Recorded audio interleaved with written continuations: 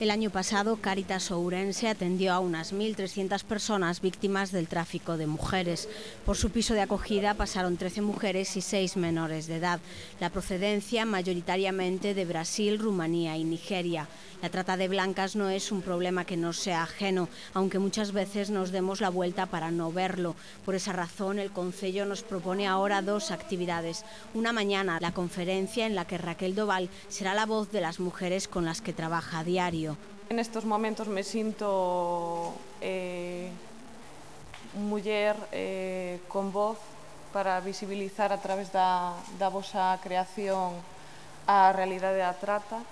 Síntome nigeriana, brasileira, portuguesa, rumana, e realmente non, est non está aquí Raquel Doval, sino que está aquí todas as mulleres eh, as que escoido día a día, eh, coas que choro día a día, as que miro día a día e das que aprendo, porque eu vou cada día ao meu traballo a aprender e a reflexionar sobre a miña persoa.